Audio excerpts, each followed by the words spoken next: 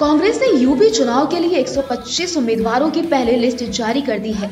इस लिस्ट में 50 महिलाओं को टिकट दिया गया। इन महिलाओं में प्रियंका ने पिछले दिनों कई मामलों में चर्चित रही। महिलाओं को टिकट दिया है। इनमें उन्नाव रेप पीड़िता की माँ, आशा सिंह को प्रत्याशी घोषित करते हुए कहा गया कि उन्नाव गैंग रेप पीड़िता की माँ है।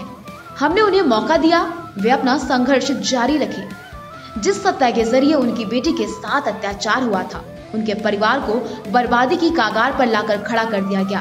वही सत्ता से वे हासिल करें। वही लखनऊ, एनआरसी सीएए में महिलाओं के लिए आवाज़ बुलंद करने वाली सदफ जाफ़र का नाम भी शामिल है। प्रियंका ने कहा, सदफ जाफ़र ने सीएए, एनआरसी के वक्त संघर्ष किया।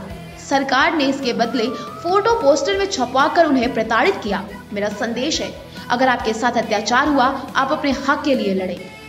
इसके साथ ही प्रियंका गांधी ने आगे फरुखाबाद से लुइस खुर्शीद को भी अपने उम्मीदवारों के लिस्ट में शामिल किया है। प्रियंका गांधी ने आशा बहनों पर हुए लाठीचार्ज का ज़िक्र किया। उन्होंने कहा, हमने सोनभद्र नरसंहार में पीड़ितों में से एक रामराज गौंड को भी टिकट दिया। इसी तरह आशा बहनों ने कोरोना में बहुत काम किया, लेकिन उन्हें बदले में पीटा गया। उन्हीं में से एक पूनम पांडे को हमने टिकट दिया। कांग्रेस महासचिव ने कहा, जो महिलाएँ पहली बार चुनाव लड़ रही हैं वे संघर्षशील और हिम्मती महिलाएँ हैं। कांग्रेस पार्टी उनका पूरा सहयोग करेगी। इसके साथ ही कांग्रेस ने अपने पुश्तैनी गढ़ अमेठी में एक बार फिर से दांव लगाते हुए अमेठी जगदीशपुर सुरक्षित सीट से विजय पासी, अमेठी के तिलोई विधानसभा से प्रदीप सिंघल जैसे कांग्रेस के दिग्गज नेताओं को टिकट का उम्मीदवार घोषित किया है।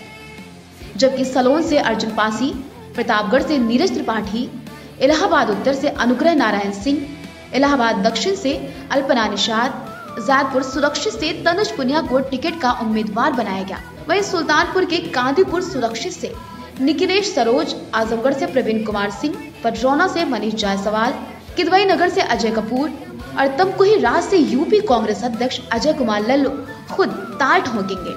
बता दें, एक तरफ़ प्रियंका गांधी ने जिस तरीके से महिलाओं पर भरोसा दिखाकर पीड़ित लोगों के लिए आवाज़ उठाने वालों पर अपना भरोसा जताया।